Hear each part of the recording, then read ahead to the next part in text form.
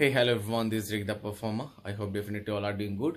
So, motivational video lesson three में आप सभी का स्वागत है तो अब तक तो वीडियो का टाइटल देख के आप लोग समझ ही गए होंगे कि आज का विषय का जो मुद्दा है वो क्या है तो दोस्तों ये इस पर्टिकुलर विषय के ऊपर लेसन देने के लिए मैं एक छोटा सा इंसिडेंट शेयर करना चाहता हूँ आज सुबह मुझे एक मेरे राइटर भाई बोल सकते हैं उनसे मुलाकात हुआ था कहीं। सो so, उन्होंने मुझे एक सजेस्ट किया। उन्होंने बोला कि भाई आप मोटिवेशनल वीडियोस बना रहे हो बहुत अच्छा लग रहा है कि बहुत सीखने को मिल रहा है। मैंने बोला थैंक यू तो उन्होंने बोला भाई आप सोते हुए क्यों वीडियो बनाते हो?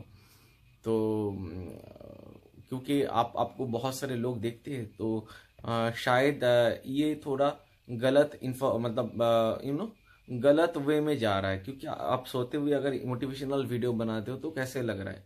तो मैंने सोचा कि हाँ ये तो सही बात बोले हैं कि सोते हुए तो बनाना नहीं चाहिए, क्योंकि मोटिवेशन मतलब क्या होता है कि आप एकदम मतलब ऐसे ऐसे आप मोटिवेट करना चाहते हो कि आप एक्टिव हो, और आप जब सोए हुए हो इट सीम्स लाइक आप डीएक्टिवेटेड हो समहाउ तो मैंने मनी मन में सोच लिया कि चलो ठीक ठीक है तो इसको थोड़ा चेंज कर सकते हैं हम लोग।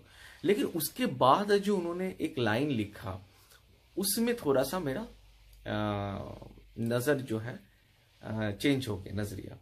तो उन्होंने उसके बाद लिखा कि आपने नहीं देखा संदीप महेश्वरी या फिर विवेक जी जो जैसे वीडियो बनाते कैसे एक्टिवली बनाते हैं। उस विषय में मेरा दिमाग थोड़ा सा चेंज हो गया। तो मैंने तब उनको बोला कि देखो अम, कौन क्या कर रहा है वो देख के अगर मैं उसको नकल करने की कोशिश करूँ तो मेरा जो खुद का यूनिकनेस है वो खो जाएगा। तो आज का आज का जो वीडियो है उसका मेन टॉपिक ही वो है कि आप सबकी सुनो लेकिन करो वही जो आपका दिल बोलता है।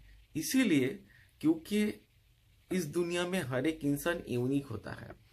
आप अनुसरण कर सकते हो किसी को। मतलब आप किसी के दिए हुए राहों पे चल सकते हो लेकिन आप उनको अनुकरण नहीं कर सकते मतलब नकल नहीं कर सकते। खूब।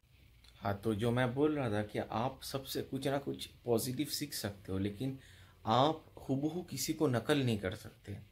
आ, तो उसमें आपका यूनिकनेस जो है वो खो जाता है।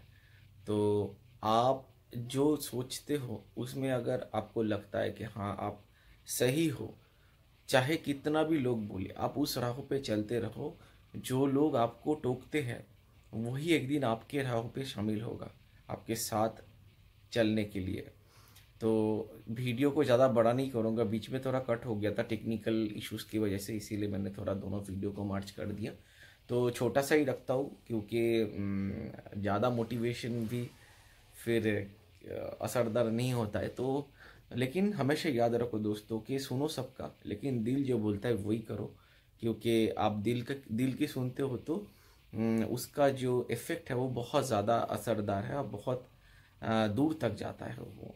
सो इतना तक ही मैं बताना चाहूँगा, किसी को नकल मत करो, अपने खुद की यूनिकनेस बजाय रखो, और अगर आपके बातों पे दम है तो आप सोए हुए बोलो या फिर आप जागे हुए बोलो स्टेज पे बोलो या फिर बाथरूम में बोलो, बैठ के, वो कोई फ़र्क नहीं पड़ता। आपके शब्द में जोश होना चाहिए, आपके शब्द में दम होना चाहिए। तो thank you so much everyone love you all